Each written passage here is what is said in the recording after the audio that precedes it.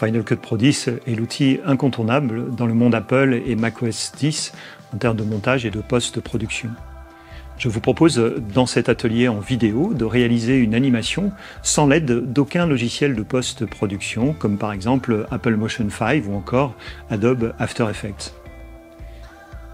Nous verrons pour cela comment utiliser et optimiser les outils natifs intégrés à Final Cut Pro 10. Cette formation va détailler pas à pas les différentes étapes de sa conception, de l'importation des rushs à l'exportation du projet final, en passant par l'utilisation d'effets, tâches, mises au point, réglages de couleurs, et de plugins comme MFlare 2 de Motion VFX, et la création d'animations également par image clé.